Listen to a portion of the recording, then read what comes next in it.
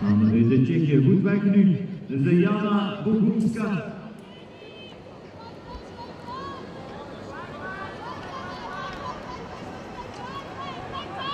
Op weg naar de finish.